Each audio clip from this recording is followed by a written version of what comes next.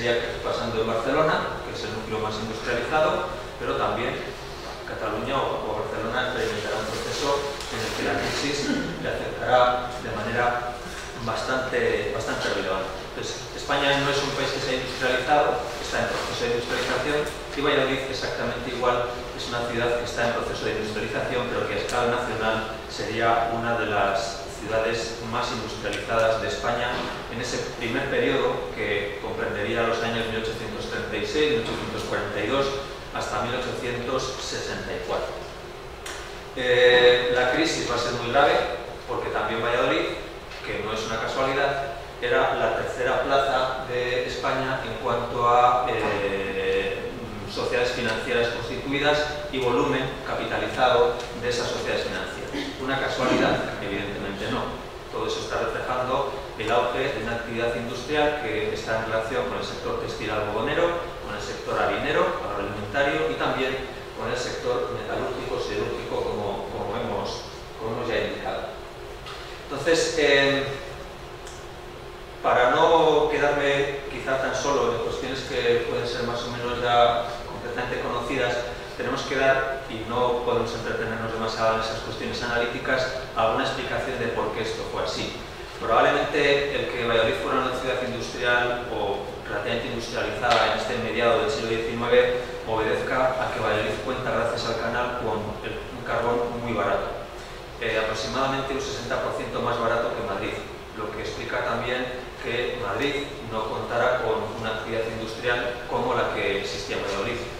Eh, y que con el transcurrir del tiempo, aquí lo he separado, hemos separado en tres años porque se están viendo especializaciones productivas en los sectores más importantes de la ciudad, pero con criterios de, para medir la especialización diferentes. En el primer caso, por el número de empleados y en los dos siguientes, de 1879 y de 1900, por la participación, la contribución industrial, es un doble cociente, no me entretengo en metodología, pero en cualquier caso, siempre que estemos por encima del 1, estamos por encima de la media.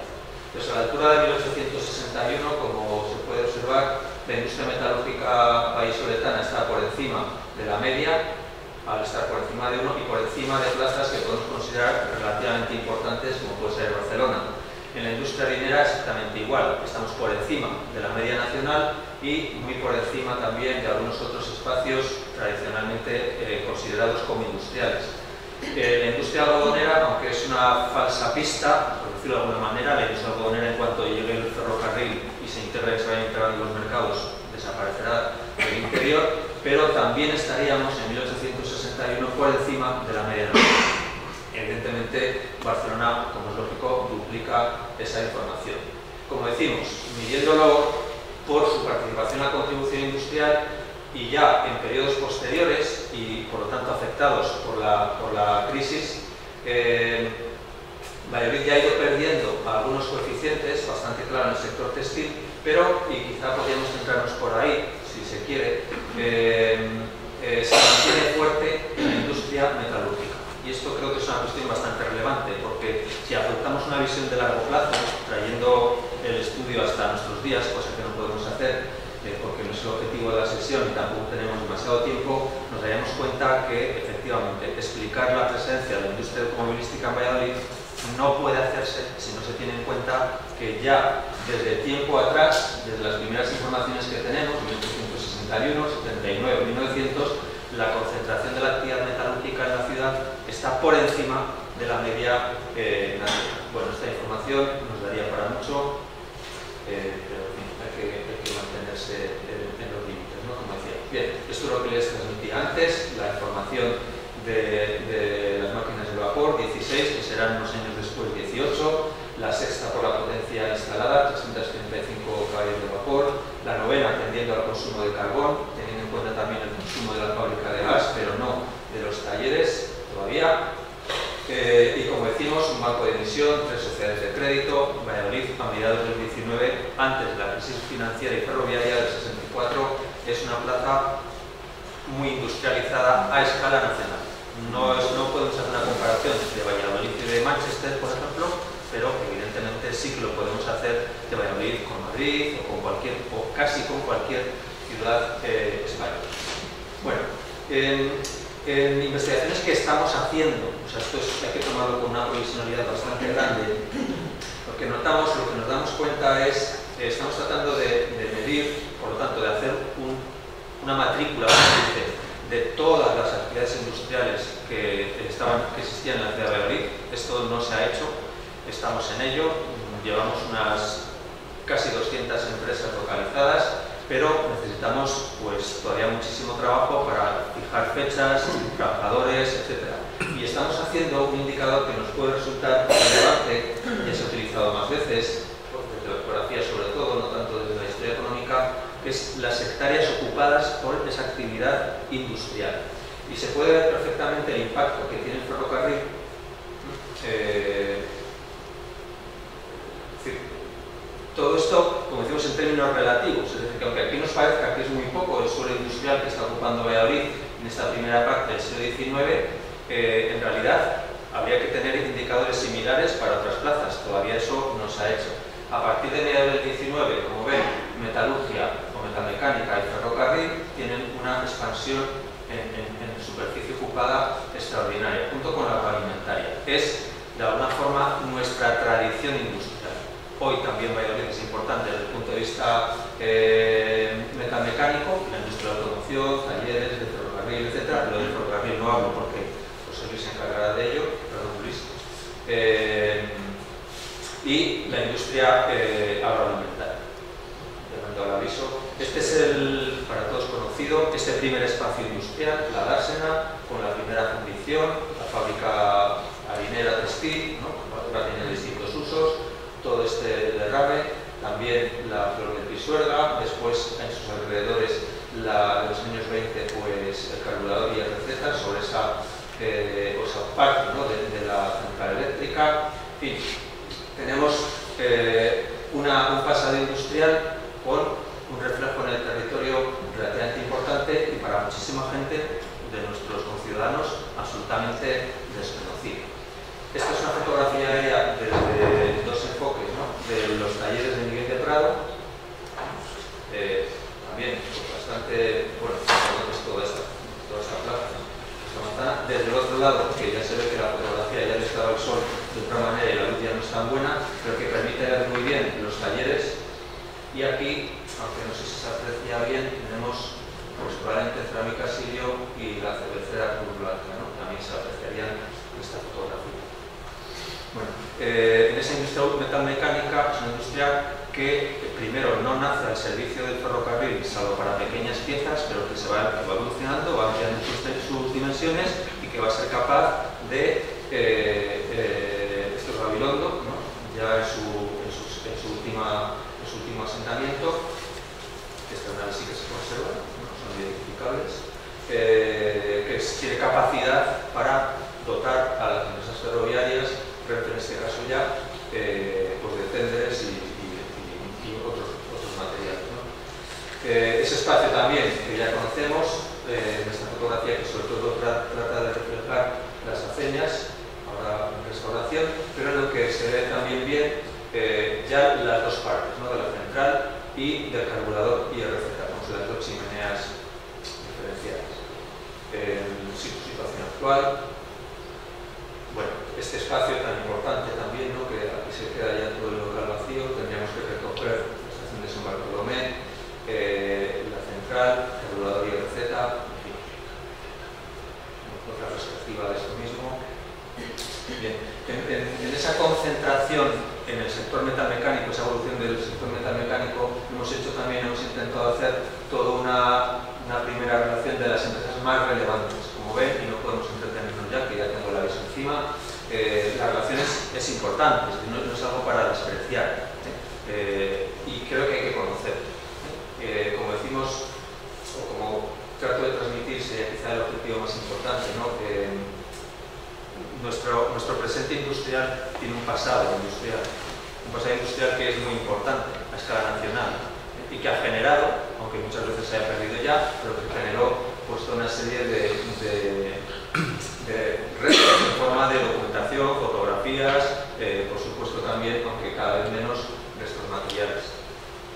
Bueno, y algunas conclusiones, pues tendríamos una etapa preferroviaria que es trascendental la llegada del canal de Castilla. Esto se puede extender todo lo que quiera, ¿no? O sea, tenemos la importancia del canal, la importancia del ferrocarril, la importancia de la llegada de la electricidad, todo esto va articulando nuestro tejido industrial. Un proceso de decadencia que es también importante tenerlo en cuenta, quizá nos hemos quedado en eso, en la decadencia que lleva como consecuencia la crisis del 64, eh, la crisis fue una crisis de pánico característica, pero que generó una extraordinaria desconfianza y se tardó mucho tiempo décadas en recuperar esa confianza. Es un tiempo perdido, pero es un tiempo en el que la metalmecánica y la, y la agroalimentaria consiguieron eh, resistir. Y a partir de 1890, pues el pulso comienza a recuperarse, las metalmecánicas amplían sus dimensiones, se convierten en sociedades anónimas poco a poco y ya tengo el cartel de ella que creo que...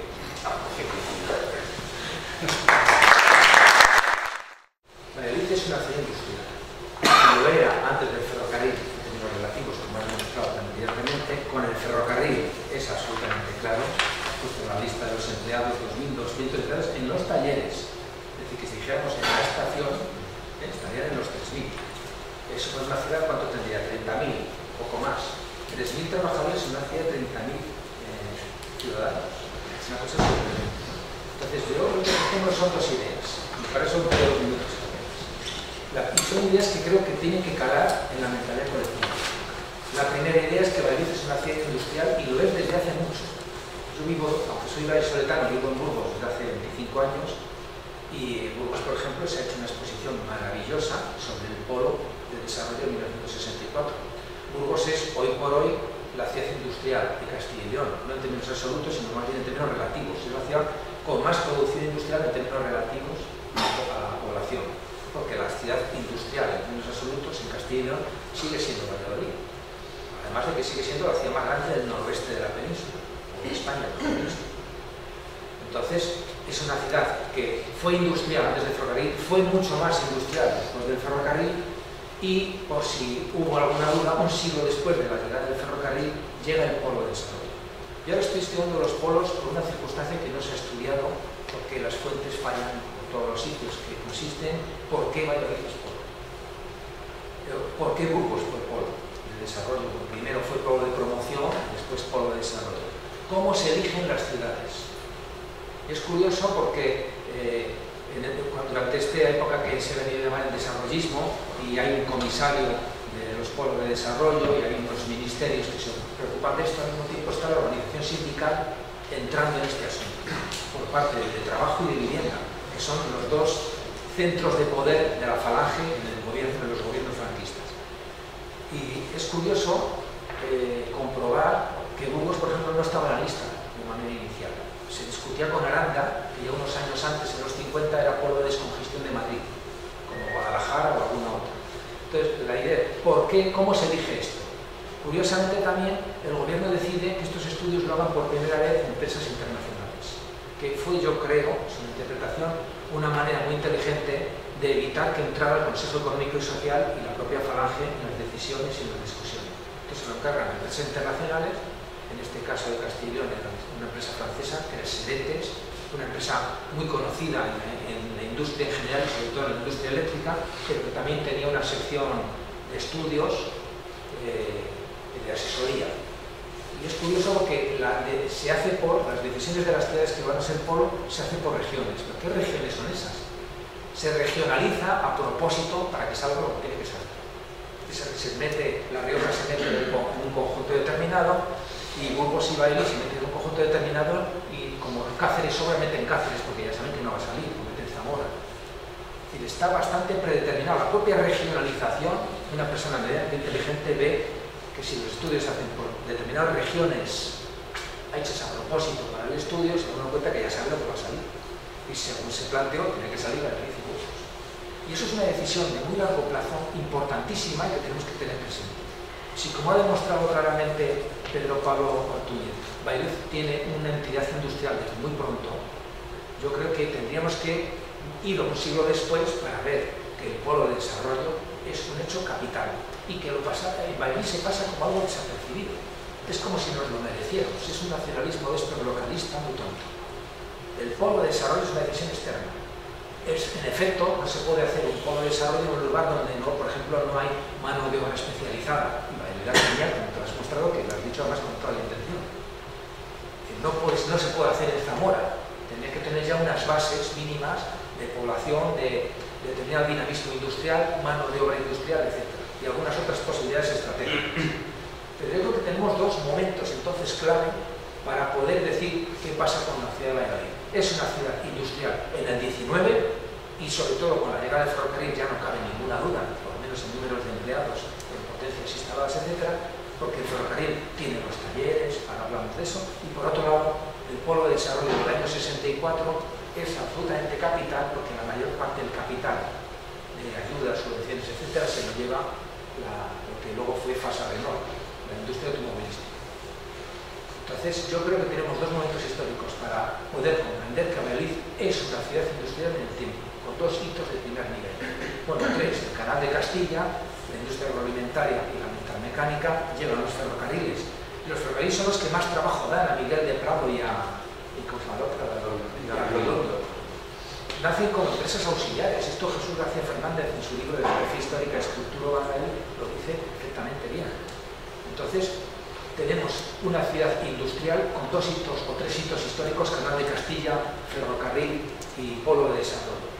Insisto en el polo porque en Madrid parece que el polo fuera una cosa normal. De normal no tiene nada. Polos hubo muy pocos. Y hoy en día las ciudades industriales españolas de hoy, todas son ciudades industriales de los polos.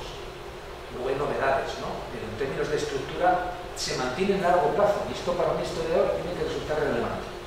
Porque estamos hablando de momentos de cambio y momentos de permanencia en el largo plazo. Y la permanencia en el largo plazo es que Madrid es una ciudad industrial. Es una idea que quiero transmitir sin demostración solo con, otra palabra. Y esto lo quiero eh, articular con otra idea. Valladolid fue durante un siglo una ciudad ferroviaria. O sea, cuando llega el ferrocarril, en el año 56 se inauguran las obras por Isabel II y se hace el maravilloso arco de ladrillo que es algo que no tenía por qué durar. Se puso la bandera de Francia, la bandera de España, inauguramos las obras y adelante. Se podía haber caído o tirado el arco.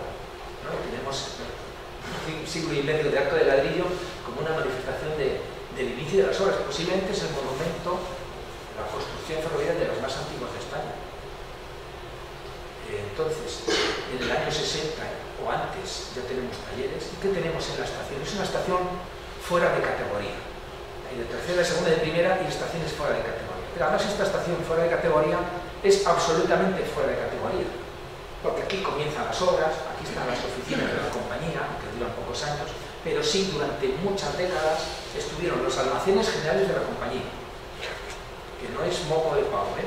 que desapareció hace 40 años, pero son los almacenes generales de toda la compañía, que es bien grande. Tenemos los talleres generales del material rodante, talleres generales que son la, conservación de largo plazo y que eh, realmente son, a veces no nos encontramos José Luis y yo con el discurso de que tal taller de tal sitio fabricó una locomotora, como si fueran, como fabricó una locomotora, son unos talleres maravillosos. Es que no hace falta fabricar ninguna locomotora. Unos talleres generales como los de Valladolid, que fueron los más importantes en su época y todavía hoy siguen siendo los más importantes de los talleres de la compañía Renfe, más de un siglo y medio de continuidad histórica donde ha sido durante muchos años, eh, digamos, la entidad empresarial que aporta más empleo en la ciudad y que encima tiene efecto arrastre. Resulta que durante un siglo caracteriza a la ciudad. O sea, yo creo que Valladolid es, en el largo plazo, durante mucho tiempo, es una ciudad industrial, pero además, durante por menos un siglo, decirlo hoy creo que es una exageración, a pesar del peso que tiene, sigue teniendo entre talleres e instalaciones de la estación, pues mismo hay mil personas en Renfe Valladolid. Lo digo porque en la prensa a veces se habla de las estaciones ferroviarias como si fuera algo que se pudiera cerrar, como si fuera un chicle. Esto lo cerramos, aquí no hay nadie, esto es un desierto, es un baldío industrial, no, cuidado. Aquí trabajan mil personas. ¿Cuántas empresas en Valladolid emplean a mil personas o más? Porque entonces nos estamos equivocando de arriba abajo. No es una injusticia, sino que es un error monumental en la valoración de los Yo pienso que durante un siglo, por lo menos, Valladolid fue una auténtica ciudad ferroviaria en términos patrimoniales, entonces tendríamos que comprender el peso de estas dos ideas. Esa ciudad ferroviaria de un siglo que tenía un gran peso en España se ha manifestado hoy en día como elementos que podríamos patrimonializar, que entendemos que tiene valor. ¿Por qué no hay que destruir el depósito? Contestará Eduardo y se hablará. ¿Por qué hay elementos que consideramos que son valiosos? Y, eso, lo podríamos convertir después en una oportunidad para hacer lo que fuera. Pero primero, eh, antes del patrimonio está el análisis histórico, que también a esas ideas. Y yo creo que estas dos, a mi parecer, son pasa, ¿no? Entonces, yo veo el patrimonio industrial como un conjunto de más cosas, de, muchas cosas, pero que eh, yo las voy a resumir en, cuatro, ¿eh? que serían en función del nivel el primer nivel de un monumento de patrimonio industrial o simplemente de un elemento cualquiera es el nivel técnico, es el inmediato. Es decir, lo que se ve, la, eh, técnica que se fabrica, lo que se hace allí, cuántos obreros trabajaban.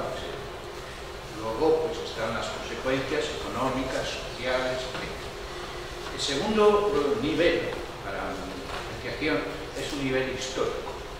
Entonces ya ahí hay un filtro, estamos en una pirámide, es el que da, concierne más importancia al monumento o al elemento que estamos estudiando, si hay una historia alrededor que podemos documentar y, si esta historia pues influyó de alguna forma en la historia general, pues la, le da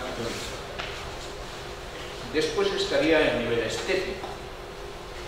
Si encima a pesar de ser un, monumento, un elemento industrial, tiene un cierto valor desde el punto de vista estético, arquitectónico, artístico, etc., pues ya eh, estamos eh, ya casi en la cumbre.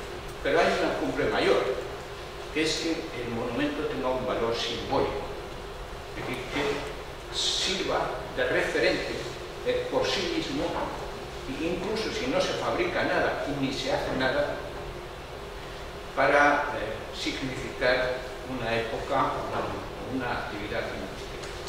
Pues bien, eh, no, no, todas las ciudades, ni mucho menos, reúnen, podrían reunir eh, elementos de este tipo. Valladolid sí.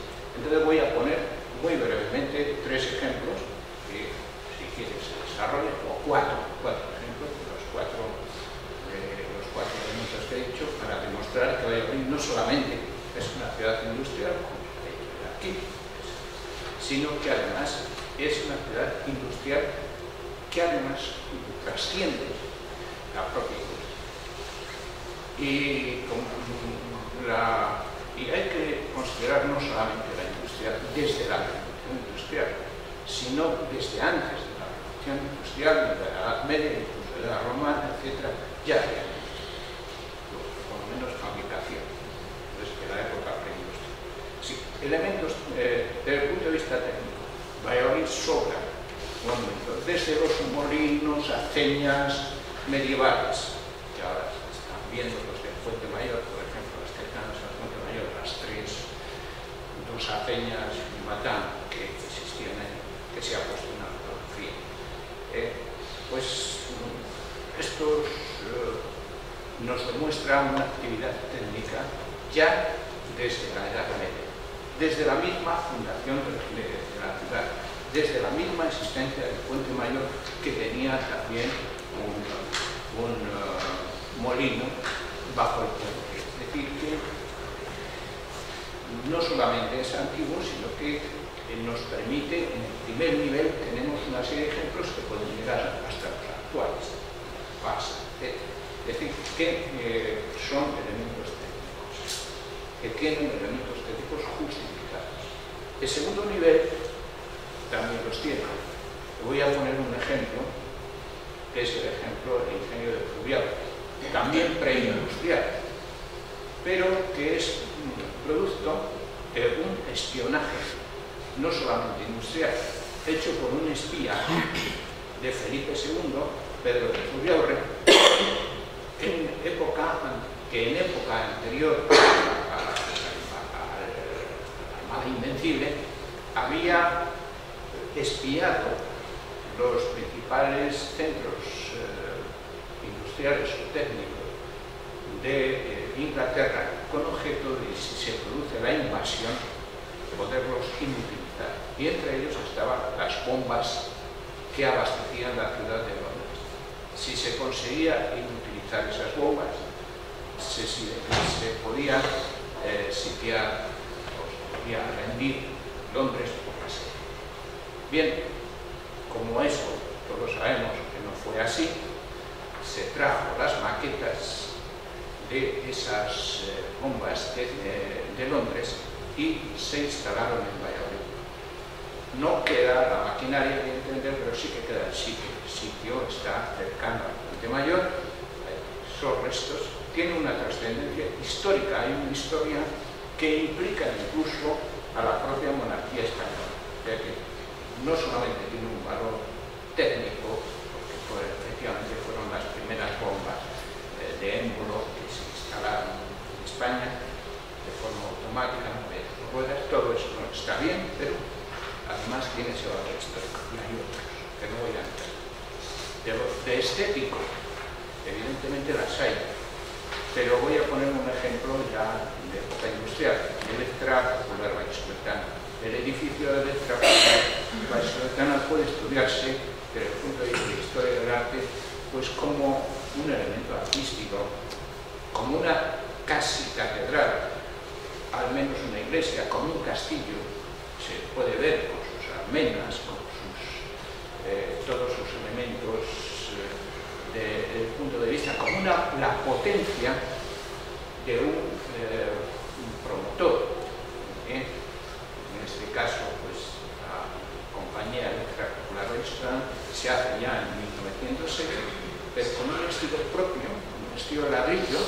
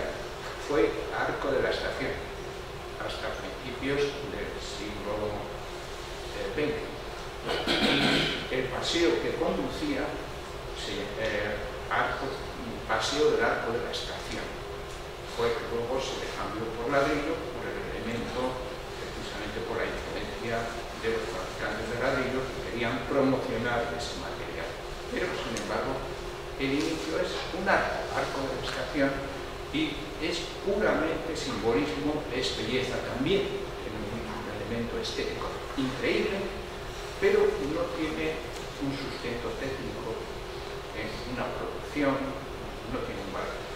Tiene el valor de simbolizar la llegada del ferrocarril, pero la llegada de la industria de Valladolid y también de la potencia económica de la compañía de crédito cuyos carteles el día de la inauguración eh, se colocaron allí y la bandera de Crédit Mobilier francesa española estaban allí, o sea, un arco que no fue efímero, que fue definitivo, que incluso sirvió su cimbra para otros puentes, es decir, que, pero que eh, es para mí es la de la pirámide de Valladolid. Pocas ciudades pueden presumir de tener un arco que sea para la entrada del ferrocarril y no para la entrada de, las carreteras. Y bueno, yo con esto concluyo muchas gracias. posiblemente si decimos que Valladolid es una ciudad histórica, nadie lo pone en duda, ¿no? y a pesar de que parte de esa historia, digamos, que está oculta. Y, pues, por ejemplo, si nos referimos al mundo medieval, sabemos que hay una mezquita, pero no es visible. Sabemos que hay una necrópolis judía y tampoco es visible. Sabemos, que hay unos barrios alfareros históricos, pero posiblemente eh, muy pocas personas saben dónde estuvieron. Con lo cual, bueno, pues eh, hay que jugar también con este factor de la invisibilidad y de la visibilidad y también yo creo que en, cuanto al patrimonio industrial, si bien se conoce mucho y bastante desde el punto de vista histórico y desde el punto de vista patrimonial, creo que falta un reconocimiento. Y en este sentido el reconocimiento debe ser un reconocimiento social. ¿Y cómo se consigue eso? Pues eso no hay más remedio que eh, llevar a cabo, desarrollar una una tarea de difusión, de sensibilización social.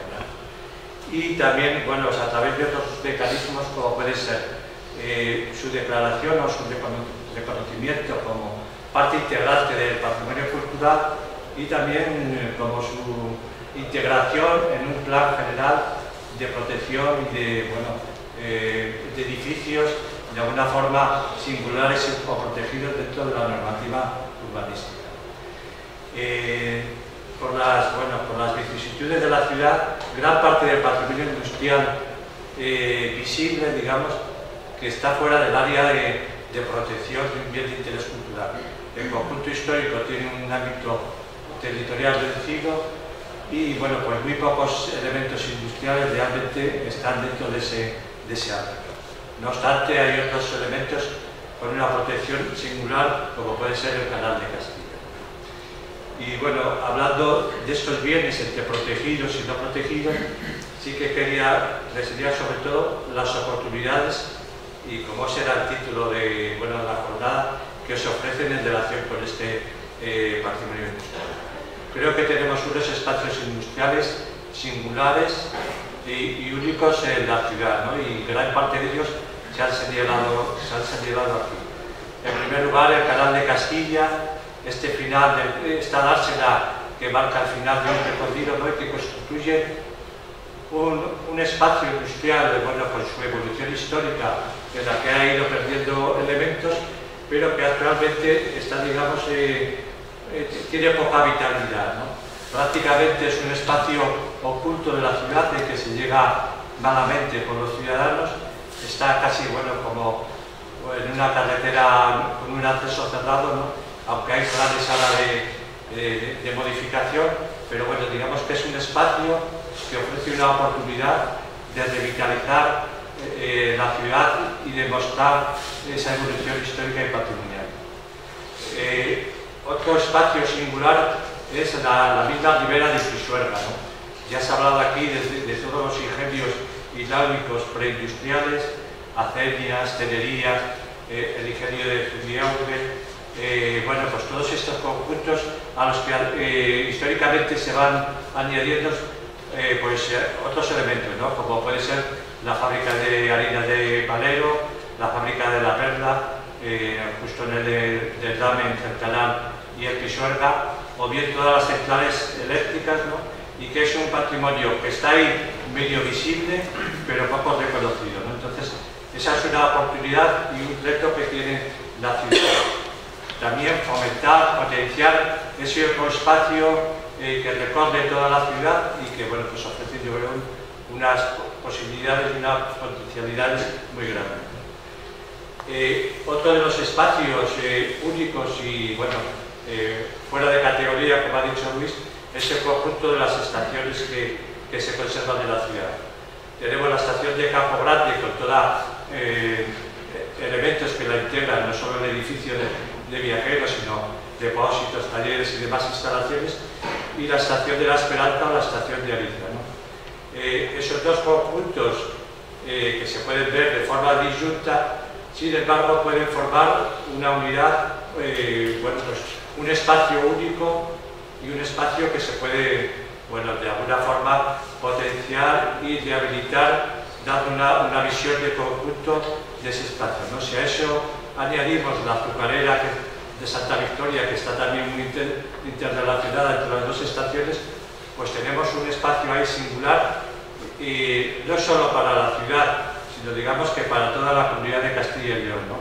porque a ese conjunto ferroviario eh, hay que añadir otros elementos y otros valores, como es la asistencia de una serie de personas, de un grupo de gestores, la, Asociación de Amigos del Ferrocarril, que le da un valor de gestión añadido importante a este conjunto patrimonial, que además, eh, por su trabajo, ha conseguido reunir un, patrimonio mueble también, eh, bueno, por fuera de serie, ¿no? como es un conjunto de elementos eh, de, transporte, de maquinarias y de vagones pues, eh, representativos de toda la comunidad y de toda la red ferroviaria de España. ¿no? Por lo cual, bueno, digamos que la potencialidad y la oportunidad de rehabilitar y de actuar en este espacio, pues también, bueno, pues está fuera de serie.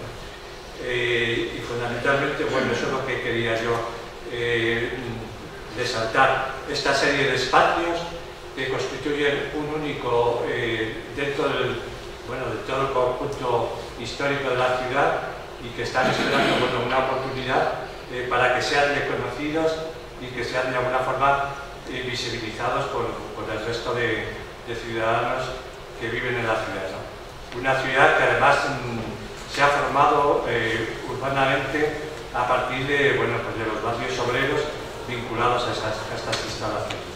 Si, hablamos de Delicia, del barrio de San Andrés o de, la Rondilla, etcétera, todos vinculamos estos barrios a unos momentos históricos y una serie de instalaciones que sean industriales y fabriles eh, a lo largo de la historia. Con lo cual, bueno, pues la ciudad no se puede explicar sin esta industria, pero hay que eh, poner los mecanismos para que se pueda reconocer y, bueno, se pueda visibilizar este patrimonio que tenemos en nuestro entorno. Y ya sin más. Bueno, en primer lugar, gracias a Yolanda y a Luis Santos por, por invitarme a estar aquí y poder contar dos ejemplos que hicimos eh, en su día varios compañeros y yo sobre dos espacios industriales de la ciudad de Madrid. Estos dos espacios vienen de una eh, voluntad de querer eh, trabajar en grupo, de querer proponer cosas sobre la ciudad, de querer, fin, eh, hacer, de querer ser proactivos y relacionados sobre todo con nuestra profesión de arquitectos, en su día pues estudiantes arquitectura. En esa búsqueda de espacio transformamos una idea individual en un proceso colectivo para poder desarrollar y compartir ideas con, sea con, los compañeros de la universidad o sea con el colectivo eh, y entonces hicimos un mapeo que, bueno, que aquí os traigo solo dos casos, pero que hay, como sabéis, muchos más casos de, de arquitectura industrial, de, de patrimonio industrial de la ciudad de Valladolid. Y eh, en este caso sería el silo de, Valladolid, que está en la avenida Gijón, y una de las naves del, canal de Castilla. Ambos espacios, como digo, eh, están pensados, en su día estaban pensados como eh, un espacio en el que poder trabajar, poder desarrollar ideas como, en fin, como colectivo. Entonces eh, seleccionamos el silo porque bueno, yo vengo de un bagaje eh, cultural vinculado a edificios a través de la asociación Proyecto Silo y en fin, había ya información sobre estos elementos patrimoniales y decidimos proponer al ayuntamiento el cedernos una cesión en uso de este espacio como sede de, de esta asociación. A su vez, vinculamos eh, el espacio físico a una plataforma digital en la que podría eh, volcar cierto contenido sobre el propio elemento patrimonial y sobre las actividades que se pueden desarrollar. Eh, este edificio, como digo, está en la avenida Gijón, tiene un carácter regionalista y monumentalista y lo que se intentaba era esto, hacer una especie de laboratorio de ideas urbanas, o laboratorio de ideas ciudadanas, en la que proponer nuevos usos para espacios abandonados de la ciudad de Valladolid, y en este caso para el silo de la ciudad de Valladolid. Eh, el silo es de tipo A, no tiene mucho interés en determinar el técnico, pero sí que analizábamos cómo podríamos utilizar eh, el edificio a través de diferentes eh, usos, ¿no? como culturales, a través de exposiciones, promenades, dentro del edificio, a través de actividades con otras asociaciones, colectivos Eh, la nave del, canal eh, fue a través también de este proceso, como digo, de búsqueda de un espacio eh, cultural para desarrollar los proyectos. La asociación Proyectos Hilos en ese momento ya no quería o no, en fin, el grupo no decidió no instalarse en Valladolid, sino tener una, una, sede un poco más abstracta y digital. Se creó aquí en Valladolid una asociación que es eh, Ciudad Z, con varios profesores de la escuela y, y otros compañeros, entre los cuales me incluyo. Eh, en, ese, en ese momento salió una subvención de la Confederación Hidrográfica del Duero para dar uso y dinamizar eh, las naves del canal y nosotros escogimos la 16T porque era la más fea. O sea, eh, era, era, una cuestión de competencia. Si nos íbamos a la más fea, seguramente teníamos más posibilidades de ganar el concurso que si nos íbamos a las otras que iban a tener más concurrencia. ¿no? Nos lo ganamos, eh, pero se hizo esta propuesta. Es una propuesta muy sencilla en la que se intentaba dejar todo el edificio como era, sin añadidos, y los añadidos dejarlos en el centro intentando dinamizar el espacio de una manera cultural. Eh, este espacio contendría un espacio técnico con un baño y una zona de, café, de, cocina, eh, una zona de exposiciones públicas para abrir los a exposiciones, a visualizaciones, etc. Mesas de trabajo eh, y una especie de archivo, porque bueno, siempre vinculándolo a los proyectos, maquetas, etc. Y se realizaron una serie de infografías para vender eso a la concurso, a la Confederación eh, siempre desde este, desde este ámbito de no quedarnos solo en nuestras propuestas, sino lanzar además a la ciudadanía el conocimiento de estos espacios a través de como digo, de la plataforma web, de eh, exposiciones al aire libre, de en fin, eventos culturales que aproximasen a la ciudad o en este caso a los alumnos de la, de la escuela a estos espacios y luego proponíamos también esto, que era una autogestión, porque a veces el problema con que nos encontramos, el primero es la financiación y el segundo es la gestión de estos espacios.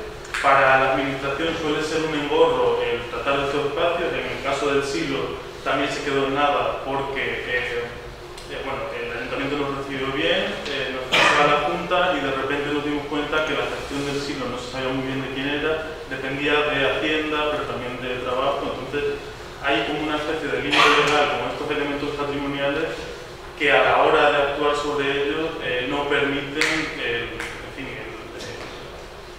revitalizarlos. Entonces nosotros proponíamos una autogestión controlada y pública del edificio que a través de, en este caso era Proyecto Siglo, eh, con una visión pues, en fin, pues, del propio Siglo y hacer exposiciones itinerantes sobre él, la Asociación Ciudad Z que estaba aquí permanentemente y podía gestionar este edificio y a la vez eh, con otras asociaciones vecinales o asociaciones y colectivos de la culturales de la ciudad de Valladolid dar uso a ese espacio que era, el sitio.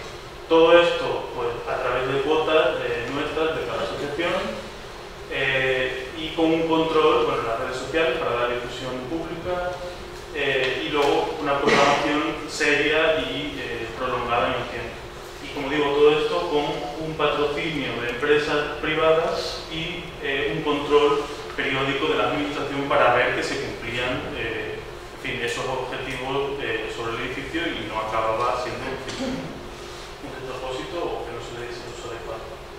Y nada, simplemente quería aquí hacer una publicidad de los usos generales que normalmente salen.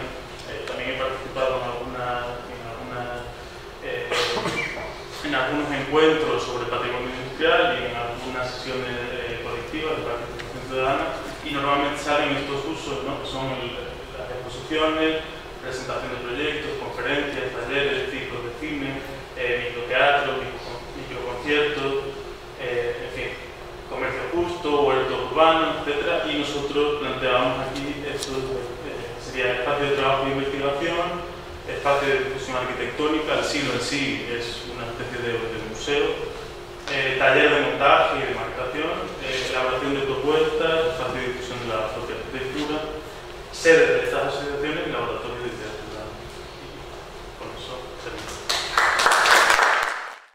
Que Valladolid es una ciudad industrial y que se caracteriza por eso, no tiene eh, dudas desde el momento en que podíamos retrotraer la actividad industrial hasta el siglo XVI se produce enorme cambio en la ciudad cuando las celidas pasan de uno de los brazos de les lleva a la celería pisuerda.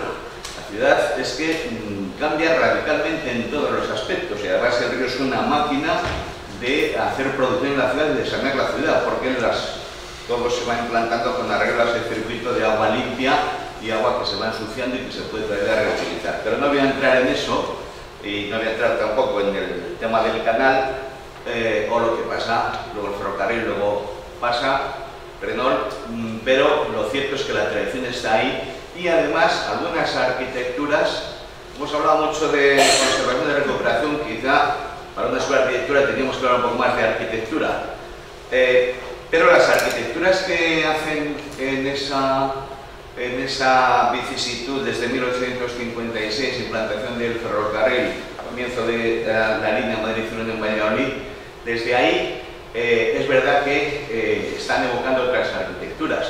Por ejemplo, las del canal, las estaciones se llaman embarcaderos, se disponían un poco al revés con los brazos hacia adentro, como se disponían en el canal, y un edificio como este el que estamos viendo en la imagen izquierda, que es una especie de herradura ensanchada y que tiene una lógica aplastante desde dos plataformas eh, donde unos puentes giran y van disponiendo eh, mediante unas vías disponiendo un vehículo ferroviario, en este caso una locomotora, se llama rotonda de locomotoras o FRHVA, ¿no? depósito de máquinas locomotoras, pues va disponiendo una en cada, en cada, como si se tratase de una estantería o donde se colocan en su emplazamiento los... Esto ya se había hecho. Se había hecho incluso, hay un palacio francés que es el Hotel Beauvais, y que estos palacios pues tienen caballerizas y tienen cocheras, son elementos muy potentes donde tienen parafreneros, criados, eh, eh, de todo. Y eh, un edificio de esto, con unas caballerizas de 12, 15 caballos, en cualquier palacio esto es normal. Un edificio con 8 cocheras, 6 cocheras, normalísimo. Y el Hotel Gobé es un edificio muy difícil, proyectado en la época de Luis XIV y que, mm, como tiene un solar dificilísimo, lo primero que hace es economizar espacio. Para economizar espacio, necesita que el patio de coches, es decir, donde los coches entran al edificio, se integre con las cocheras. Y entonces hace un círculo, que es el patio de coches, y de ahí van arrancando las cocheras. ¿no? Es el antecedente más claro de las caballerizas otra cosa. Se desenganchan los caballos, se van las caballerizas por unos corredores y ahí se meten las... Exactamente, pero es que en el canal mmm, y en otros, y en, otras, en otros lugares donde ha hecho falta almacenar coches, cocheras, el nombre que poníais el otro día, Luis de Cocherón, no es de coches de tiene más calado histórico, si se quiere. Era de coches eh, en el sentido de la palabra casi francesa, eh, cochera, vehículo, que luego lo han perdido los franceses y la trajeron nosotros. Y eh, esas cocheras, digo, esa herradura o ese círculo servía para eh, que los coches que o bien transportaban ferrocarril o bien iban a se dejaban allí a la espera de, pues tenían allí su, se depositaban allí. Eran más bien como determinadas paradas o depósitos o guardas.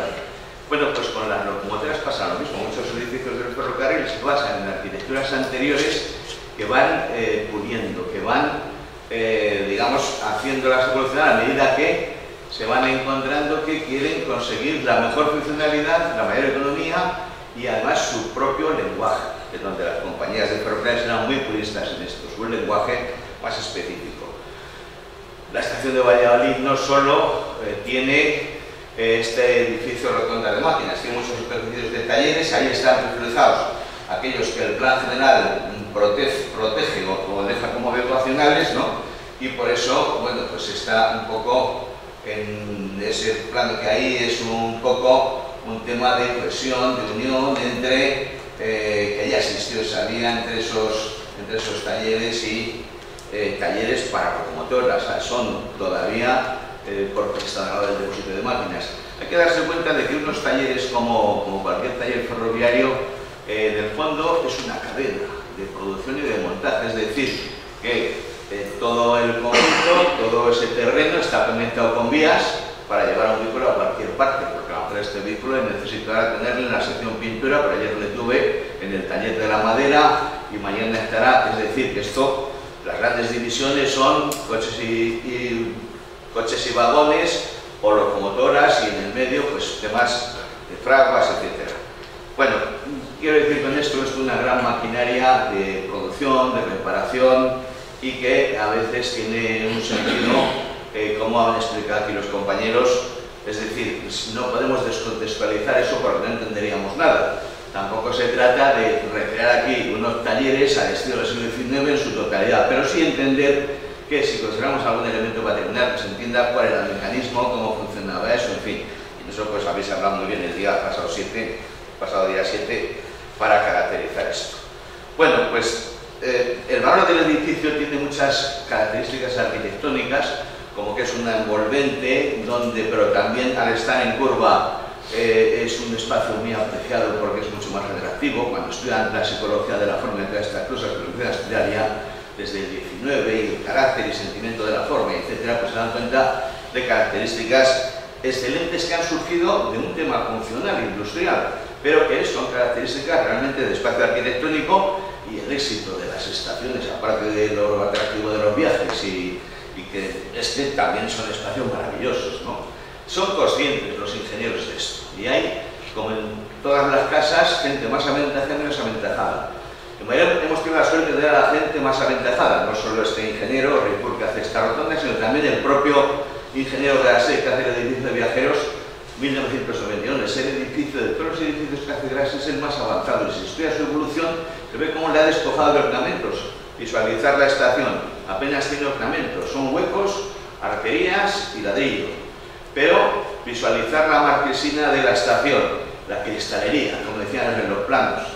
Bellas Artes, la Academia de la Prisma, perdón, en Valladolid se opuso. Obligaron a que la estatua de la agricultura, de la industria estuviera allí y tal y la cristalería que había presentado Grasset se la tiraron por tierra, completamente, pero Grasset, listo él, presenta, solo tengo yo fotografiado, está en el AGA, presenta una lámina impresionante, como hacían los de la Purísima, que es una acuarela con la cristalería a escala 1,20, un, un bicho enorme, ¿no? Maravilloso. Y se lo dan de paso o lo coloca porque quiere, eso ya, los documentos no les tenemos todos, ¿no? Pero quiero decir, estamos en un no solo en un tema industrial de la ciudad, sino una vanguardia arquitectónica. ¿no? Bueno, ya nos toca el tema de la... es el valor del edificio, está claro. La restauración del edificio no es ninguna dificultad en ningún sentido, se han debatido antaño, pero tenemos todo claro que tanto las actuaciones iniciales, el edificio original, algunas ampliaciones, porque todo es coherente, esas ampliaciones estaban pensadas, todos los edificios ferroviarios están pensados para ampliarse, como mínimo para duplicarse, pero para ampliarse. La parte de unión, que es la parte de abajo, que se amplía más, es porque naturalmente han cambiado la longitud de, los, de las máquinas. Bueno, pues esto tiene una lógica aplastante que ellos vieron desde el primer momento porque el ferroviario no puede tirar el dinero, tiene que aprovechar lo que hay antes. Queríamos tomar nota para los temas de conservación. Y voy a los temas de, bueno, restauración, técnicamente se puede hacer sin ningún problema. Ya hemos pedido eh, presupuestos desde, eh, la, desde Ferrocarriles del Duero, asociación que tiene 90 y algo vehículos en Castilla y León y aquí depositados en Valladolid 29 para esta restauración y además yo esto como arquitecto pues lo conozco bien y, aseguro que no tiene ninguna dificultad, es un tema técnico de hacerlo bien. Bien, y, eh, y el uso del edificio, que debía ser el uso ferroviario. Y para ese uso ferroviario sí que hemos hablado con el, con el ayuntamiento parece que el tema está, eh, está muy bien, muy claro que teniendo una asociación, teniendo, pudiendo conservar frente a vehículos que están bien restaurados, pues podría eso ubicarse ahí, que es el uso más compatible de todos los posibles. Bueno, como tengo que terminar, solo decir que, a pesar de todo, no vemos claro lo que se ha redactado en el plan general, lo enseñaron también ya los compañeros, y querríamos desde aquí pues ofrecer a, a Manuel Sarabia, que no está, pero que está Oscar Burón, pues nuestra colaboración para todo, desde, bueno, con todo el cariño, con todo el respeto y con todo el aprecio para nuestro edil y compañero en esta escuela, eh, para que eh, yo creo que debíamos reestudiar el tema del ferrocarril en la zona, en ese sector, en los edificios, su declaración de BIC, y para esto, pues naturalmente, aparte de de yo mismo y de la asociación que estoy hablando, creo que aquí tenemos gente eh, excelente, creo que es una escuela de arquitectura. Rodrigo se quejaba de que, no tenemos, pues tenemos una oportunidad, señores.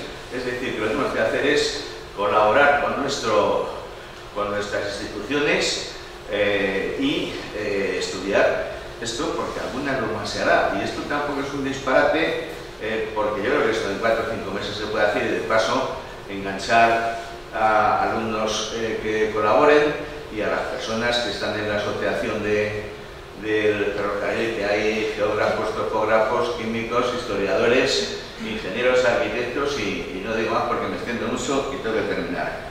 Muchas gracias y que podamos llevar adelante alguna de estas cosas que creo que nos mejoraremos y mejoraremos la ciudad. Valladolid es una ciudad con una tradición eh, industrial eh, porque hay un elemento ahí que intrínseco a lo que es el patrimonio que me gustaría reivindicar y que es la memoria precisamente de estos espacios, la memoria histórica, porque creo que es ahí donde podemos encontrar realmente algunas oportunidades de futuro. Eh, además, han empleado otro elemento y es que este patrimonio suele estar normalmente en zonas periféricas, pero vinculadas a barrios, a su historia, y encuentro que ahí también tenemos una oportunidad, puesto que en muchos casos, precisamente la degradación de este patrimonio nos ha llevado también al digamos, desequilibrio social, económico y de desarrollo de los mismos barrios. Así que me han dado las pautas y agradezco a Bocanegra, que, mucho porque compartimos gran parte de algunos de los proyectos que, que, ha hecho, algunas de las reflexiones que nos colocan yo creo en el siglo XXI y en algo, en mi opinión, bastante importante que tiene que ver, y no podemos eh, pasar por alto, que son los retos futuros, los retos del cambio climático, los retos de hacia dónde va nuestra economía, eh, yo estoy en la Concejalía de Innovación y por una cuestión ética tengo que hablar de ello, pero no porque sea una reflexión personal, sino porque es una reflexión en el, día de hoy, creo que compartida eh, también a muchos niveles, de manera internacional, con muchos ejemplos, que me hubiera gustado poder elaborar algunas imágenes, pero que mencionaré algún proyecto y si alguien tiene intención, vamos abiertos, por supuesto, a poner sobre la mesa en otro foro, incluso en la Agencia de Innovación, toda la información que tenemos al respecto.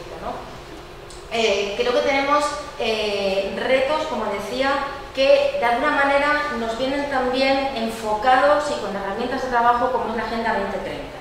Yo creo que no podemos estar pensando en qué podemos hacer, no solo con, o sea, en general con nuestra ciudad, pero también con el patrimonio a partir de la Agenda 2030. Tenemos una obligación de afrontar esos retos de una ciudad más sostenible y de humanizar las ciudades. Y a partir de que la, la Agenda 2030 nos da algunas soluciones. Y entre otras, habla de ecosistemas de conservación, habla de regeneración, de restauración, de resiliencia ante los nuevos y emergentes cambios y yo creo que en este sentido hay muchísimos trabajos que, como decía, podemos tener en cuenta.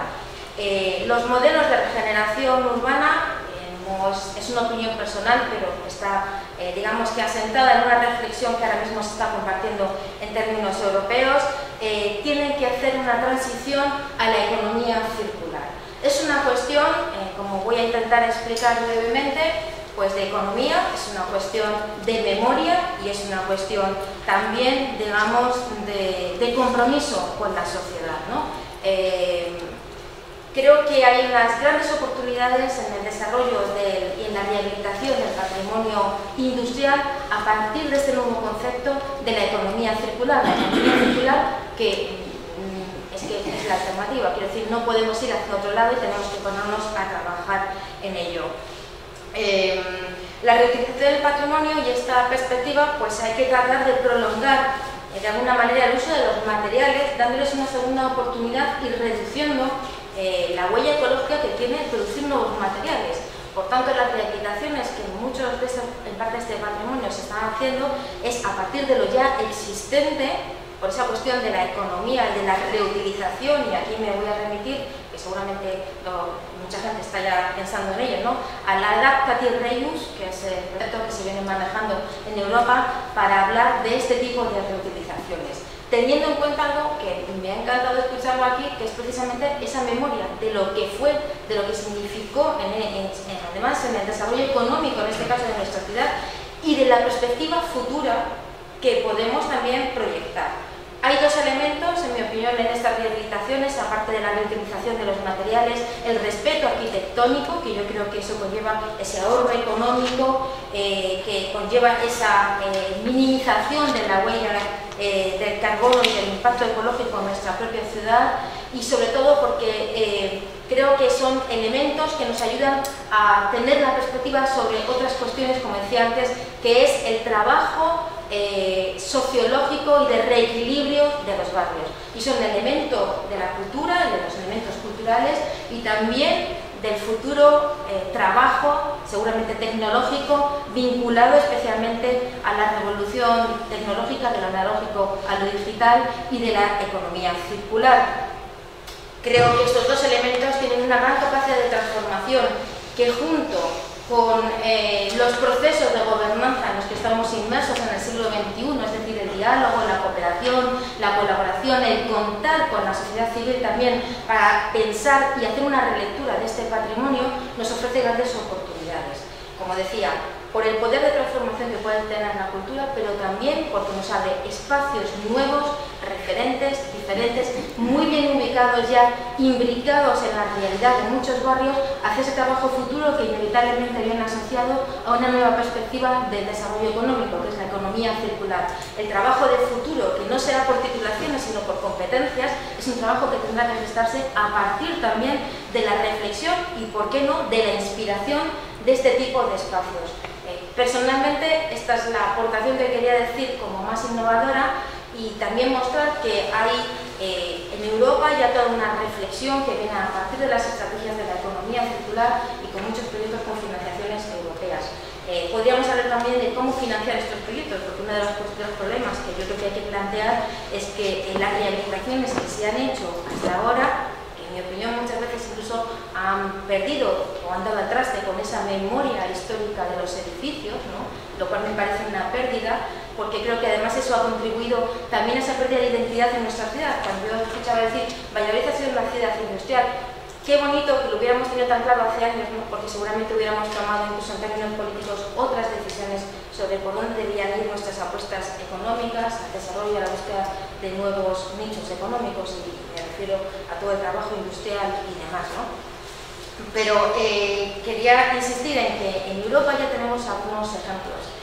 Como decía, lamento no haber traído esas eh, diapositivas, pero si alguien quisiera, hay un proyecto en Europa que se llama Nueva Gobernanza de los modelos de las ciudades creativas, sostenibles y circulares. Porque está claro que lo que tenga que venir tiene que estar dentro de este concepto, del concepto de las Smart de las ciudades del conocimiento, que lo tenemos ahí, la transmisión de la universidad, del conocimiento, es un buen ejemplo, a la reflexión ciudadana y que se pueden financiar proyectos desde lo público, con lo privado y sobre todo con la sociedad civil, que yo creo que es el engranaje fundamental para encontrar esa posibilidad y esa eh, oportunidad de, futuro que, está, sin dudarlo, eh, ni un minuto en la, en la, capacidad que tengamos de innovación, de creatividad y de conectividad. Porque al fin y al cabo también recuperar el patrimonio yo creo que nos reconecta con ese pasado, pero también hacia el futuro, nos conecta para podernos inspirar y para poder vislumbrar cuál va a ser el futuro del empleo del siglo XXI. Eh, muchísimas gracias. Quería introducir un poco el tema eh, poniendo en contexto la situación del modelo de ciudad eh, y el patrimonio. Después de tantos procesos de urbanización desmedida en los últimos 12 años, que hemos sufrido todos, de un urbanismo consumista de, recursos, de energías, hemos pasado lentamente a un modelo distinto. En buena, medida, en buena medida expoliados por la crisis y en particular por los efectos de la crisis sobre la promoción inmobiliaria.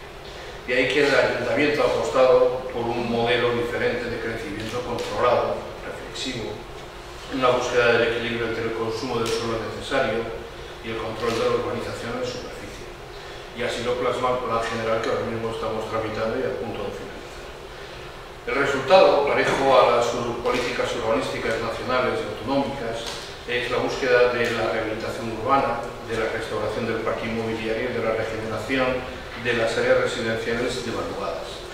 La búsqueda del equilibrio interno de las zonas que componen la ciudad, de sus condiciones de vida fundamentalmente de sus es la economía circular, que hablaba la concejala Chávez Chávez, es eh, la economía de la rehabilitación, de la regeneración y de la restauración de lo que ya tenemos antes de empezar a mirar el consumo.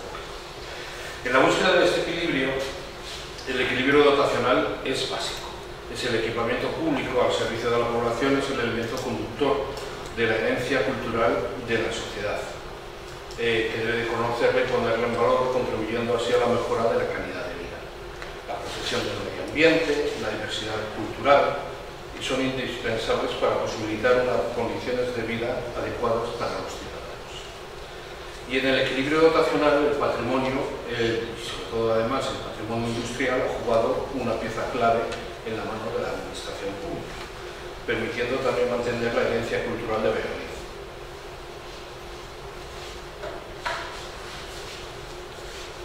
Dentro del patrimonio cultural, el patrimonio industrial juega, como hemos dicho, un papel importante con sus complejidades. De momento, la obligación del ayuntamiento con el patrimonio no solamente industrial, sino cultural en general, es promover su conservación, entendiendo de él el conjunto de bienes importantes que forman la herencia cultural de la sociedad. El objetivo es preservar la herencia cultural, conocerla y ponerla en valor, contribuyendo así a la mejora de la calidad de vida. Y únicamente se pone más en valor el patrimonio industrial como una pieza importante.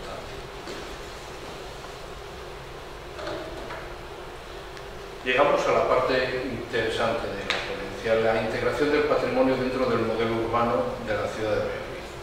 ¿Cómo integra el Ayuntamiento de Valladolid la conservación del patrimonio de forma efectiva? El urbanismo es la disciplina fundamental de la planificación y de la gestión de la ciudad, de las actividades, de las relaciones e intereses de los ciudadanos y del modelo de ciudad que queremos tener. Por ello, el Plan General y el PETS el Plan Especial del Caso Histórico y el Plan General de Ordenación Urbana son las herramientas ejecutivas. El primero, dentro de lo que es el término, general, el término municipal general de toda la ciudad y el segundo, específicamente dentro del conjunto histórico. Los dos marcan las herramientas que regulan los bienes a proteger, los bienes de protección y las posibles intervenciones que pueden realizarse sobre ellos. Y para ello los catálogos de protección arquitectónica y arqueológica son los documentos imprescindibles. Ahora mismo estamos contando con una revisión del plan general en tramitación que recoge 1.083 fichas de elementos protegidos y 45 de ellos son de edificios industriales o bien de estructuras de ingeniería afines como puentes, por ejemplo.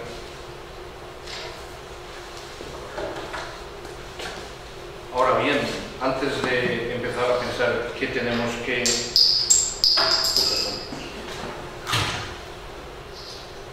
¿Qué tenemos que proteger?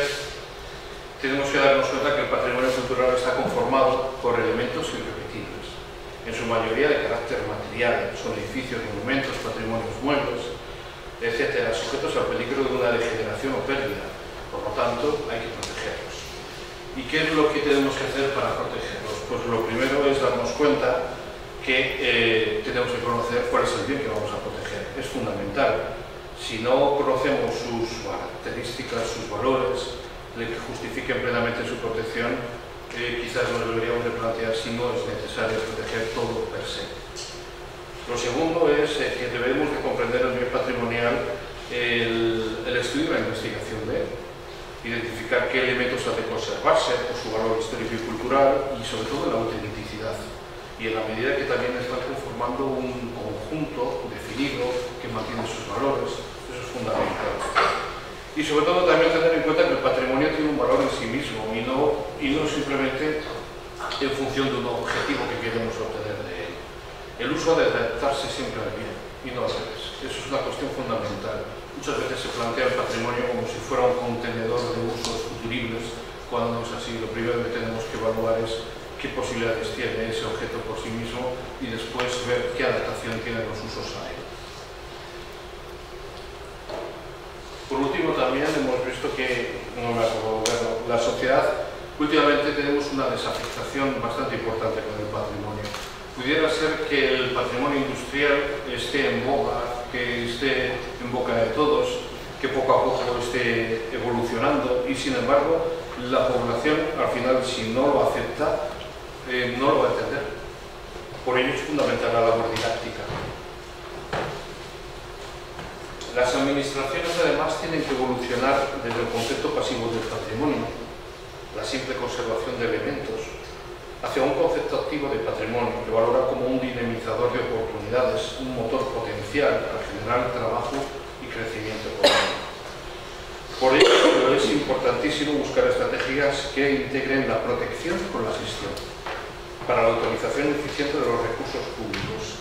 Si no damos uso al patrimonio que tenemos, no podremos hacer nada y es necesario seguir manteniéndolo por vida. Pero consolémonos un poco, pues hasta bien poco, hace poco la sensibilidad hacia el patrimonio industrial es la que vemos en estas imágenes. Sin embargo, hoy tenemos actuaciones muy importantes, con sus luces y con sus sombras, efectivamente, pero tenemos unas actuaciones, ya digo, muy importantes. Públicas, por ejemplo, como la del Matadero, el Mercado Central de Delicias, el Palero Museo de la Ciencia, la fábrica de harinas de la Perla o la fábrica de luz de la Sierra. Y también tenemos actuaciones privadas importantes como las de los almacenes del Nuevo Filato, la Casa de la Guada, algunas de las naves del Canal de Castilla, como nos hemos visto antes por la provincia de Bocanegra, o bien los almacenes cuadrados que ahora mismo se están construyendo. Pero nos faltan también actuaciones importantes, que a veces son sangrantes. El depósito de locomotoras, la azucarera Santa Victoria y la eléctrica. Eh, como bien ya ha adelantado Eduardo, Freire, hay un proyecto en marcha de conservación preventiva para la, el depósito de locomotoras, también hay otro en marcha también para la azucarera y por lo menos evitar así que se degrade.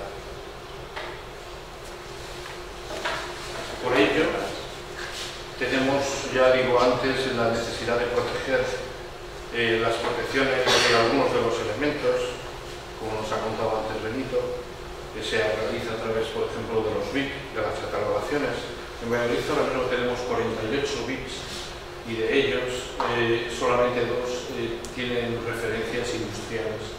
Es el, el, conjunto de Canal de Castilla y por último el pasaje Gutiérrez, que realmente también es transversal su pertenencia en cuanto a la arquitectura del viento. Y hemos intentado cambiar un poco esta situación.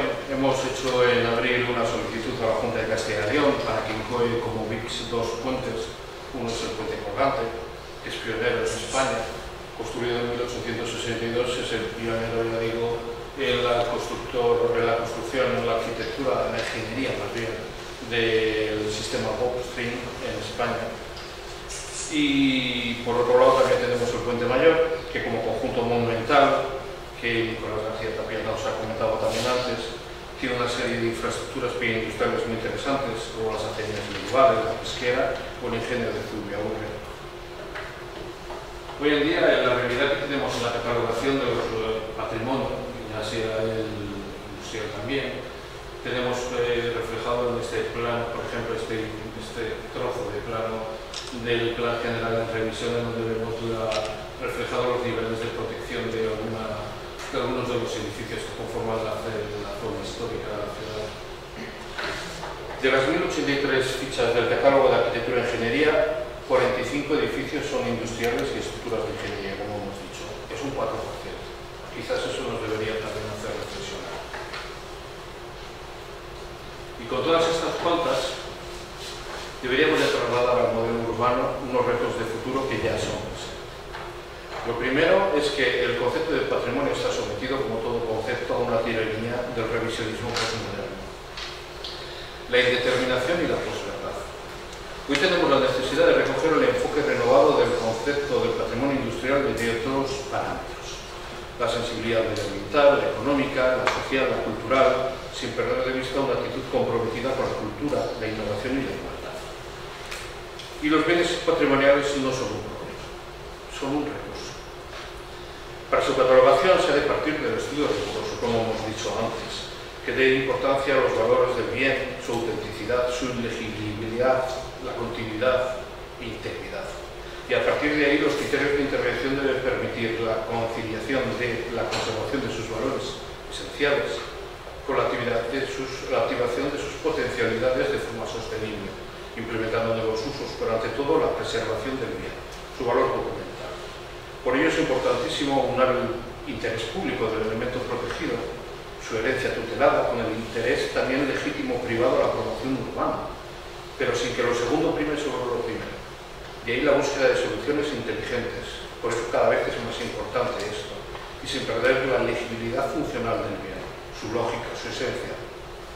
Y es por ello necesario la búsqueda activa de sistemas colaborativos público-privados. Será imposible si no se implementa la conciencia ciudadana por el mantenimiento y conservación del patrimonio, también es verdad, eh, como parte esencial de la memoria colectiva de ahí la importancia del proyecto cultural y de la difusión cultural del patrimonio. Si no, la población, como hemos dicho antes, se desafectará y no entenderá el valor del patrimonio. En definitiva, el patrimonio cultural y en concreto el industrial debe integrarse plenamente en nuestra vida diaria, en nuestro modelo de ciudad, generar el urbanismo mixto, lleno de usos y actividades, para lograr una ciudad histórica. Muchas gracias.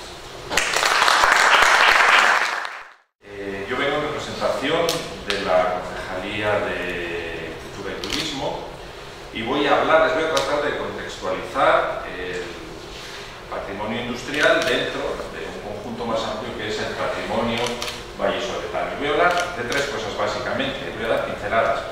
Voy a hablar de qué consiste el patrimonio vallisoletano, de su riqueza y de su diversidad. Voy a hablar de eh, cuáles son los problemas que afectan al patrimonio vallisoletano, su destrucción y su descontextualización. Y por último, también como voy a hablar de qué salida podemos tener o de qué forma deberíamos trabajar. Bueno, para hablar de la riqueza del patrimonio vallisoletano, eh, no sé, esa riqueza se comprende si tenemos en cuenta el extenso marco cronológico, estamos hablando de más de 10 siglos, desde las manifestaciones más antiguas, desde la desde la torre de la, de la iglesia de Santa María de Valladolid, eh, que mandó hacer el conde Ansúrez, que es nuestro primer eh, monumento, si dejamos al margen desde luego los restos arqueológicos de épocas pasadas, hasta cualquier edificio del movimiento moderno de la segunda mitad del siglo XX. Un extenso marco cronológico que, en el que podemos seguir a través de estos testimonios materiales que han perdurado la evolución de la ciudad. Desde unos orígenes modestos a finales del siglo XI, a unos siglos medievales extraordinarios en que la ciudad, gracias a su dinamismo y a una habilísima política de alianzas con la corona, consiguió situarse en una posición privilegiada dentro del marco de la corona de Castilla, consiguió eh, convertirse en, residencia frecuente de unos reyes que carecían de una corte estable, de manera que eh, eso le preparó para desempeñar un papel destacado en los inicios de la modernidad, un papel que se vio aguado con la marcha de la corte a Madrid y que después resurgió, que es esta, edad de plata, a la que se refería ayer la concejala cuando abría estas jornadas, eh, este fenómeno industrial de la segunda mitad del siglo XIX que perdura hasta la actualidad. Eh, diversidad tipológica. Cuando hablamos del patrimonio vallisoletano tenemos que hablar no solo de bienes inmuebles, sino también de bienes muebles, de todo lo que contempla la ley del patrimonio histórico español es decir, bienes muebles e inmuebles, el patrimonio documental y bibliográfico, fundamental, muchas veces olvidado, pero no por nuestra ley de patrimonio histórico, una ley pues temprana y muy valiente, eh, que incluía precisamente deliberada, deliberada de, de, forma deliberada eh, esta referencia al patrimonio documental y bibliográfico, un patrimonio documental, como que me toca, que soy archivero, muy sensibilizado, pero que ayer se ha dicho aquí también, es fundamental para comprender todo lo que rodea a los otros patrimonios, sitios naturales eh, y también, por supuesto, los bienes de patrimonio cultural y material. Y cuando hablamos de Valladolid, eh, en términos generales, eh, recordar que, por último, quiero hablar de esto de Valladolid, de la esencia del lugar. Eh, cuando se analiza el fenómeno urbano de Valladolid, pues eh, es difícil eh, destacar cuál es el hecho más importante de Valladolid desde el punto de vista urbano. Valladolid es muchas cosas y pocas cosas a la vez. Lo que define a Valladolid es la ausencia de una especialización clara. Valladolid, históricamente, aparte de estas dos pinceladas que he dado, hay un hecho fundamental en la historia de Valladolid que es la, a mediados del siglo XIV, la célebre bula convierte al estudio vallisoletano en uno de los tres estudios generales de la corona de Castilla. Convertía una de las tres.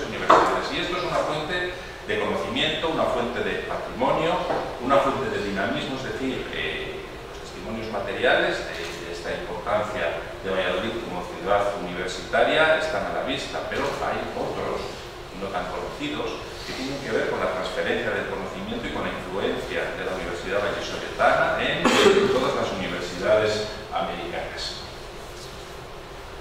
Tampoco es Valladolid una ciudad judicial, aunque haya sido sede de la Real Cancillería, que es el tribunal más importante de la Corona de Castilla durante el antiguo régimen, posteriormente sede también de una audiencia territorial, y eh, un tribunal del que ha emanado justicia para eh, la totalidad eh, de la Corona de Castilla, pero también para los reinos del otro mundo, del nuevo mundo, perdón. Efectivamente, nada menos que 11 audiencias territoriales se implantaron en los distintos territorios americanos con la planta de atribuciones de la audiencia vallisoletana. Y, por si fuera poco, queda un conjunto de edificios interesantísimo, incólume o relativamente incólume. ¿eh?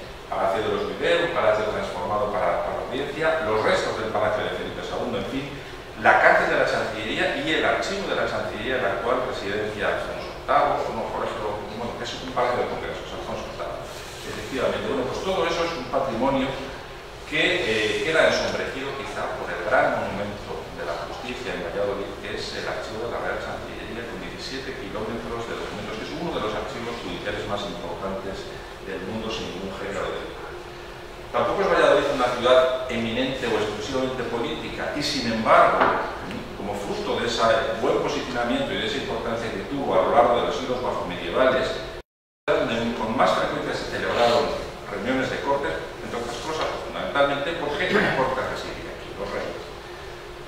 Entre el inicio del siglo XV y mediados del siglo XIX, la segunda mitad del siglo XIV y principios del siglo XVI, 150 reuniones de cortes.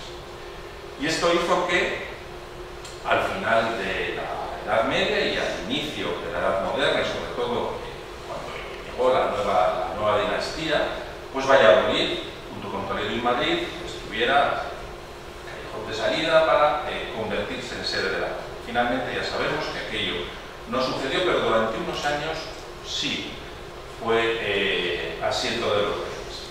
Y se construyó el primer espacio áurico, el primer espacio cortesano, precursor de los espacios madrileños, un espacio que hoy, aunque mutilado, pues todavía existe. Este grabado fantástico de carterera pues nos permite ver el Palacio Real, la iglesia de San Pablo, convertida en capilla regia, el Salón de Saraos y todos los edificios, junto con aquel pasadizo voladizo, perdón, que estaba ahí todavía, que conformaban. Esto es lo material, pero también existe lo inmaterial, porque como sede de la corte, nuestra ciudad fue sede de los principales acontecimientos que sucedieron. Bueno, ya sabéis, hace un año, en el año 2018, se celebró eh, la llegada, conmemoramos el 500 aniversario de la llegada a Valladolid de Carlos V y del establecimiento de la corte. Eso tuvo consecuencias evidentes para el patrimonio inmaterial de la ciudad. Todo lo que se cocía entonces, que era mucho, tenía lugar en Valladolid. Eh, este año estamos conmemorando también de la Vuelta al Mundo. Bueno, pues todos los acuerdos de la Vuelta al Mundo, si uno lee algo, todo, absolutamente todo se decide en Valladolid. Años atrás se había decidido también el reparto de los nuevos territorios, de las nuevas rutas entre los reinos de Castilla y de Portugal. Dentro de unos años conmemoraremos eh, también el aniversario de la controversia de Valladolid, que tuvo lugar esa, discusión sobre la forma de la síntesis, tuvo lugar en un espacio muy conectado a este. Tampoco es Valladolid una ciudad exclusivamente religiosa o eminentemente religiosa y sin embargo es sede episcopal, posteriormente sede archiepiscopal y también es sede de eh, las casas madres de buena parte de los más importantes monasterios, desde luego con San Benito a la cabeza. Y esto no solamente ha tenido un influjo espiritual, un influjo inmaterial, eh, sino un influjo muy, muy, muy material en la configuración del tejido urbano. Somos un ejemplo claro, clarísimo de una ciudad convento, quizá algo, el ejemplo más claro que ha existido una ciudad conventual, el ejemplo más claro que ha existido probablemente en nuestro país. Y por último, bueno, no hace falta que incida, pues claro que somos una ciudad industrial, eh, a partir de mediados del siglo, del siglo XIX sobre todo. Y para añadir un dato, que un dato demográfico que no se ha dicho, pero que seguro que está en la cabeza de todos o en la mente de todos. Entre el año 1850, la década de 1850, en que en Valladolid tenía aproximadamente 30.000 habitantes, los mismos que había tenido, según los censos, y son fiables, en la época de los principios del siglo XVII, cuando la corte estuvo en Valladolid. Bueno, pues entre esa mitad, esos mediados del siglo XIX, que hay 30.000 habitantes, y el final del siglo XX, en que hay 300.000, la población de nuestra ciudad se ha multiplicado por 10 y evidentemente algo tiene que ver con esto. Bueno, la destrucción del patrimonio vallisoletano. Pues efectivamente nuestro patrimonio se ha eh, destruido, desintegrado, descontextualizado, a veces quedan restos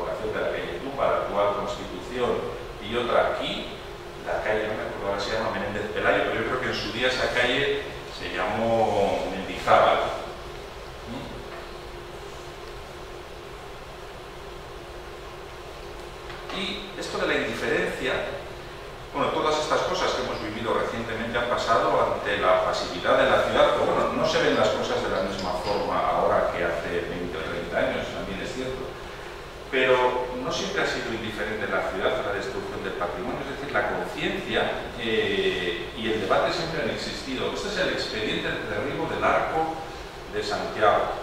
Y en el expediente de derribo es interesantísimo. En el expediente de, de derribo hay opiniones de todo tipo y se recogen firmas de los vecinos que estaban a favor del derribo, a cuya cabeza estaba Mariano Laza, uno de los brillantes industriales, uno de los dueños de, de una, de una de una máquina de vapor que la tenía instalada muy cerquita de este arco. Y el debate de los que, y la, opinión de los que no quieren que, que se derribe el. Bueno, el arco ya sabemos que fue derribado, como muchos otros. ¿no? Bueno, finalmente, eh, ¿qué oportunidades tenemos para recuperar este patrimonio? Bueno, pues eh, todo se ha dicho esta mañana y también se dijo en la jornada del pasado, no recuerdo qué día, aquella que se celebró en el Parque Rollano, Luis, eh, al, al, al exponerlos. Evidentemente, para recuperar este patrimonio industrial y el resto del patrimonio, pues lo primero que hay que hacer es identificarlo, saber qué tenemos. Pero no basta con identificarlo, hay que saber interpretarlo y saber valorarlo. Y a partir de ahí, pues eh, los inventarios patrimoniales, que no basta con los inventarios, bueno, que efectivamente eh, acaba de mencionar eh, Oscar Burón, los inventarios que afectan a los bienes inmuebles, pero hay muchos inventarios que están por hacer. Y hay que transferir el conocimiento a la sociedad y eh, procurar la participación de todos. Esto es una cosa bastante clara. Y hay que verlo como una oportunidad, efectivamente, y así desde el ayuntamiento y con una visión, yo creo que eh, muy, muy amplia y recabando la participación de todos los sectores, pues hay que tener una visión integradora de todo lo que tenemos. Es decir, no podemos eh, estar quejándonos de que la ciudad eh, del 19 haya destruido a la del 16 y que la ciudad del siglo XX haya destruido a la del 19, porque resulta que hay espléndidas manifestaciones, espléndidas realizaciones de todos estos periodos eh, salpicando la ciudad y eso tendremos que digerirlo, tendremos que comprenderlo, tendremos que amarlo y, tendremos que conseguir eh, gestionarlo. Con una finalidad, bueno, al final eh, creo que el objetivo es supuesto que el objetivo prioritario es eh, conseguir recuperar los bienes, darles uso, eh, pero también eh, conseguir que los vallisoletanos identifiquen con su ciudad y la quieran más que los que somos de mi generación hemos querido